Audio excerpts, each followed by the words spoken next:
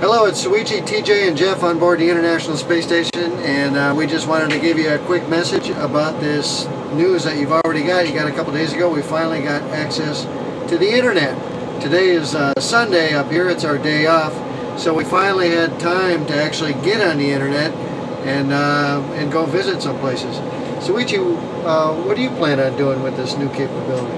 Well, I guess uh, we're flying, uh, you know, like uh, 17,000 miles per hour uh, on the Earth. Now we can serve the world at the light of speed. That's good.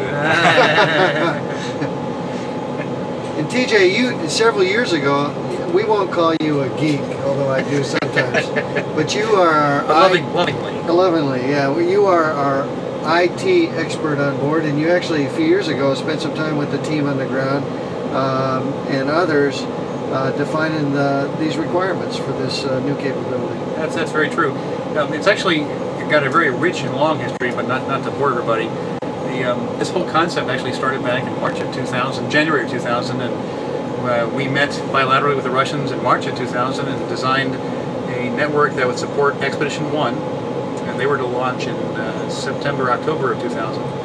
And along with that plan came with a, a forward um, a forward plan how to grow the network with the increasing modules and more partners and more people using it.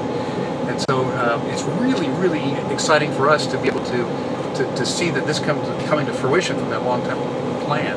But more to the point, the people have been working very, very hard to make this a reality now. I've gotten to the point where the communications, the infrastructure, both on board and on the ground, could support this possibility.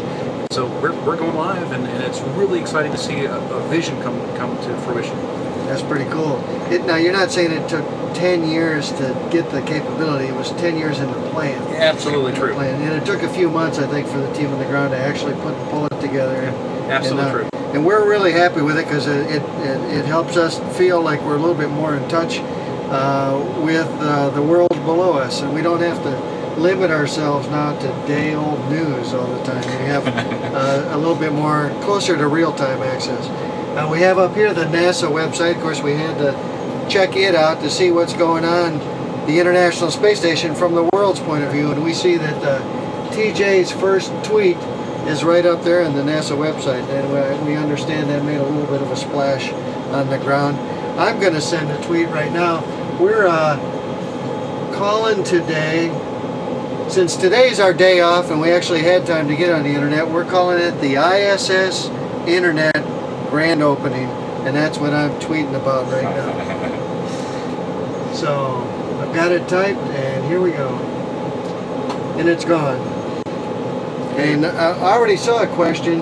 Does it uh, go real time or is it delayed? It's essentially real time, right? And, you, you, real time, yeah. And you can check that. It's about 15:30 GMT time, or about 9:30 Houston time. So when you look at that tweet from Jeff, you can see the timestamp. It's about 9.30 uh, Houston time. On the 24th of January. All right. All right. Thanks, guys. Tweeting to you.